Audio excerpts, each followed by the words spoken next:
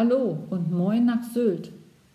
Haben Sie in Corona-Zeiten auch feste Rituale? Morgens, mittags oder abends? In der Woche oder am Wochenende?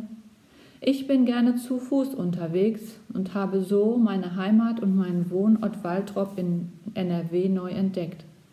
Ich bin in den letzten Wochen viele Wege gelaufen, durch Felder, Wälder, an Wasserlinien vorbei und das hier im Ruhrpott.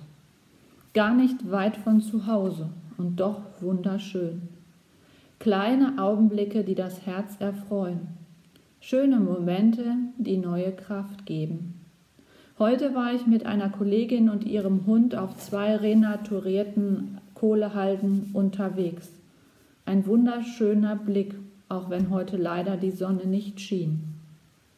Eine kleine Pause in ungewohnten Zeiten, die uns doch so viel Geduld und Kraft abverlangt, aber auch durch das Vertrauen Gottes geprägt ist. Gott begleitet uns, er lässt uns nicht los. Du umschließt mich von allen Seiten und legst deine Hand auf mich, so steht es schon im Psalm 139.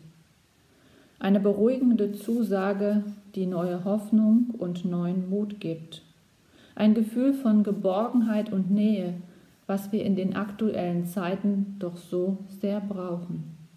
Haben Sie auch solche Rituale, die Sie durch die Corona-Zeit begleiten?